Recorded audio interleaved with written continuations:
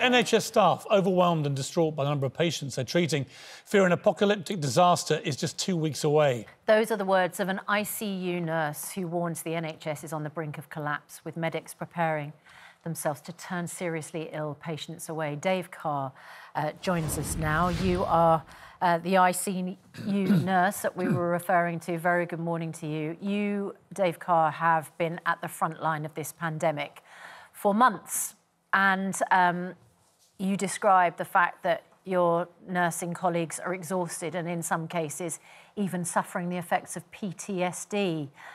Uh, what is it like right now as infections seem to inexorably rise? So it's it's as bad as as, you've as you've described at the moment um, in in the NHS and the ITUs, uh, certainly in London. Um, we're over capacity already, so we're treating more patients than we normally would in in normal conditions. I mean, you've got to realise that you know, the NHS has been trying to recover from the first pandemic. Our staff are absolutely exhausted from the first pandemic. Um, and um, I think the real problem, and I think one of the questions you should really speak to, to, to, Matt Hancock about, is the the fact that we tried to run the NHS up to the last minute, as it was absolutely clear that the pandemic numbers were rising everywhere, and the admissions into hospitals were, were escalating at alarming rates. And we've been caught. We've been caught with our trousers down, trying to do normal NHS work or c- c- recover our NHS work and the pandemic at the same time. So that's left us, that's left us with scenes of real chaos and, and, and confusion and real pressure inside our hospitals and our intensive care units are stretched beyond breaking. I mean, you know, we are trained as ITU nurses to look after one patient um, on a ventilator with, with life support machinery. And at the moment in ITUs, not just in, in, in my ITU, but in ITUs across London, um, these nurses are looking after not one, but two, but three patients um, on ventilators and other uh, um, organ support um, machines. It's absolutely harrowing. It's breaking. It's breaking us. And Dave, uh, we, we saw is. we saw some very uh, scary graphs that came out last night about the number of cases with this new variant, uh, which is clearly spreading at lightning speed, and also inevitably the number of hospitalizations beginning to surge to record levels as well. We know what follows that. We know that inevitably the death numbers are going to go up. And these don't even include at the moment the period post Christmas and New, New Year. How worried are you and your colleagues about what may be coming in the next two weeks? So it's already worse than it was in the first wave. That's that's absolutely clear. Um, it's the worry is is extreme. So. Um, you know, in the first wave, we managed to slow down the NHS, um, convert a lot of the, uh, you know, support mechanisms to support the intensive care units, which who will be taking the, the the the bulk of the acutely sick patients uh, we, it, we're catching up with ourselves now. We're not ready, and we've been put in this position by the flip flopping, bad management, um, lack of lockdown, uh, schools open. You know, the the whole mismanagement of the pandemic. But from a personal point of view, it's extremely hard for nurses that are already exhausted. And we've been working in pandemic conditions since March. I haven't done a single day's work where I'm not wrapped up in PPE since since since March. And how do uh, you uh, feel, Dave? How do you feel when you see the footage, as we saw at the weekend, of a large group of people outside St Thomas's Hospital in London, outside the, the accident emergency there, chanting, COVID is a hoax? Well, I, I, tell you what what impact that had on the staff that that saw that on on on, on media. It led to staff, uh, ITU staff, breaking down in tears. Um, my own view is that this is a small minority of people that probably think the earth is flat, but it is concerning that the flouting of the rules is, has, has, has grown almost as seriously as the virus has. And I think this has got to be pinned on the, the, the amount of mixed messages we have. But what I've got to say to the public, everyone out there, is our ITUs are already full. London's ITUs are already full. We are expanding our capacity, but we aren't expanding our nursing workforce as fast as we need to, and we aren't expanding our medics. Dave, I, are... Dave can I ask you about just before Susanna, just on the capacity? A lot of people are saying, well, what what about the Nightingale Hospital? What do you need the staff? What is your Dave? knowledge about that? Is it simply an issue of there aren't enough staff who are trained Absolutely. at ICU level?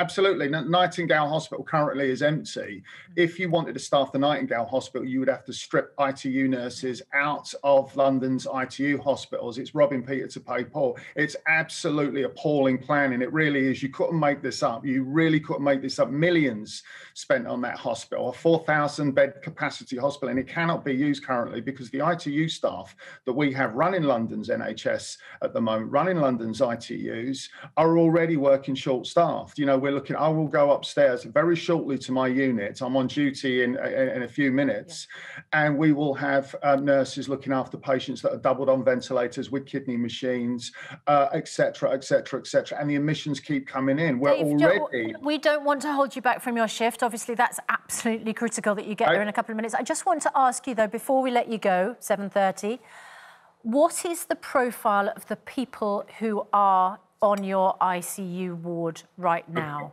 Um, are you seeing people of a younger, I don't mean children, we know that it doesn't, you know, it's not impacting children, thank goodness. But what is the age profile and the health profile of those who you are currently caring for? So it is younger, but that's because more people have got the virus. So I'm seeing, I've seen teenagers with, with COVID. I've seen people in their 20s, 30s, 40s, 50s. You know, but uh, you know, in the last in the last pandemic we did, we looked at uh, you know we were looking at people a lot of comorbidities in their 50s, 60s, and obviously the the, the people that were really vulnerable, you know, in their um, 70s and 80s. But I'm seeing younger people. Anecdotally, I'm seeing younger people inside our ITUs already. And Dave, and there, people, there, are people, people there are people, Dave, who say well, it's, it's always like this at winter in the NHS. We always read about uh, beds filling up. We have had flu crisis and so on. What do you say to those people? I've worked in the NHS for 38 years. I've been in critical care for 21 years. My colleagues everywhere across across London and across Britain will be saying it's never, ever, ever been like this. This is the worst situation the NHS has been in. When you talk about being overwhelmed, we're already overwhelmed. We're already exhausted. Um, we cannot go on like this. You know, the pandemic needs to be brought under control. And I think when we're looking at a government, I mean, I have to say, as a health worker, it, it, it absolutely fills me with dread that Boris Johnson is running this pandemic because he really isn't doing a, a, a job, a good job at all. If I nurse like he runs the country, I'd be sacked. Well, we have to let you go, Dave, because you do need to nurse right now. You have an important shift, saving I lives. Dave, before we let you go, what's the, what's the one thing you'd most like like us to ask Matt Hancock? what, say that about Matt Hancock? What, what is the one thing you would like us most to ask him when we speak to him in an hour? I would like you to ask him how um, how he can seriously look any health worker in the face and, and, and tell us that he is stewarding the NHS and managing this this this pandemic properly. Um, you know, we we're doing this understaffed, we're doing this underpaid. I mean, the insult that we got earlier earlier on in the year with no pay rise for what we've done in COVID really really hurt us. But I think they just need to be honest. The government needs to be honest. They're not handling the pandemic well, and the impact that's having on us in the NHS is ferocious. I mean, I'm an old boy and I've got a bit of resilience, but I'm seeing young people doing stuff that they shouldn't be doing. You know, we should not be putting the amount of people in body bags that we're going to have to do because of the way this pandemic's being handled. I really think that you know you guys, and thanks for having us on on on, on GMB this morning. I think you guys really need to pin the politicians about the the, the mismanagement of the pandemic and the impacts that had on an already run down NHS. 10 years of cuts we've had. You know, it really is tough. We st- we went into the pandemic with 42,000 vacancies and nurses. You know, we've lost more nurses. We haven't used the people that, that, that um, left the service and wanted to come back in the numbers we should. Our sickness levels are through the, through the ceiling. Um, we are really stressed. We are really, really tired. And yet we've got to do this all again. And I think that's on Matt Hancock and I think that's on Boris Johnson. Dave, I just want to thank you and all your staff, uh, everyone working in hospitals right now, uh, to hear the unvarnished truth from the mouth of someone who's been in the sharp end of this for many, many years is a very sobering conversation, actually. And you know, I think people need to get off social media and echo chambers and the nonsense that's being spewed about how this is just a regular winter.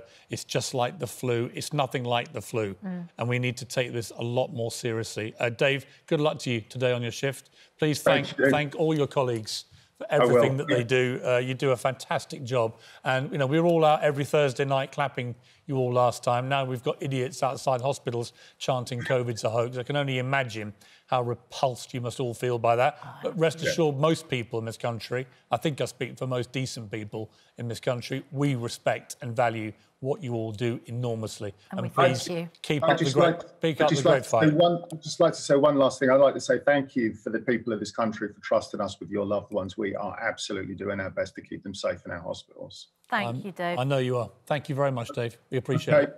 bye bye. you. I'm off Good to luck. work. I know.